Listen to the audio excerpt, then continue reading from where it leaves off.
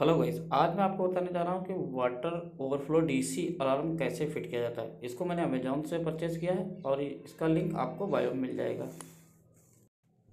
जैसा कि आप देख सकते हैं, इस बाइक के अंदर एक डीसी अलार्म है और इसके साथ में एक सेंसर है।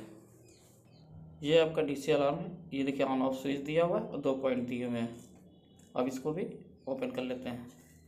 ये इसका सेंसर है और इसका वायर छोटे होते हैं। आप अपनी सुविधा अनुसार इसको लंबा कर सकते हैं, इसमें जॉइंट लगा करके।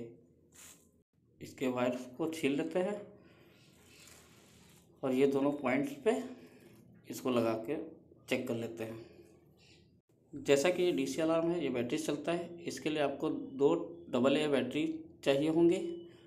ये देखिए, बैटरी मैंने फिक्स कर दी है।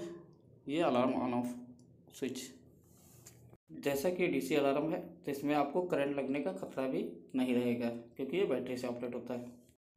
आप किसी भी पतले स्क्रू ड्राइवर से स्क्रू को खोल लीजिएगा और इसी पॉइंट पे आप दोनों वायर्स को अटैच कर दीजिएगा स्क्रू को टाइट कर दीजिएगा।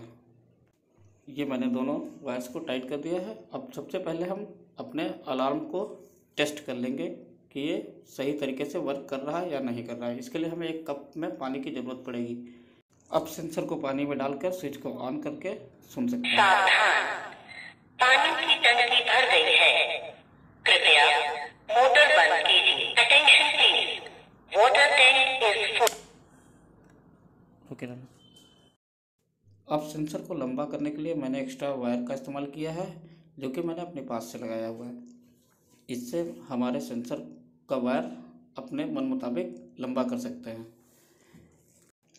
आप इसके एक सिरे पे सेंसर के दोनों वायर को लगाकर टेप कर दीजिएगा और दूसरे सिरे को आप अपने अलार्म के साथ में स्क्रू की मदद से टाइट कर दीजिएगा। आपका वायर आपके मन मुताबिक लंबा हो जाएगा। आप इसे अपनी टंकी तक पहुँचा सकते हैं। जैसा कि ये देखिए, मैंने टंकी के साथ में इसको वायर को खूबसूरत तरीके से अटैच कर दिया और ये नीचे की तरफ़ हमारे कमरे में जा रहा है। अब आपकी टंकी में ओवरफ्लो पॉइंट जहाँ पे होता है, वहाँ से सेंसर को अंदर करके जितना चाहे उतना लटका सकते हैं। आप बहुत ज़्यादा न लटकाइएगा, नहीं तो टंकी आधी भर के अलार्म बजने लगेगा। आप हल्का सा इसको नीचे करके वहाँ, उस जगह पर उसको टाइट से बाँध दीजिएगा, जिससे कि सेंसर आगे पीछे हिलने ना पाए और ज़्यादा पानी में लटकने ना पाए। अब मैंने इसको बहुत टाइट तरीके से बाँध दिया है।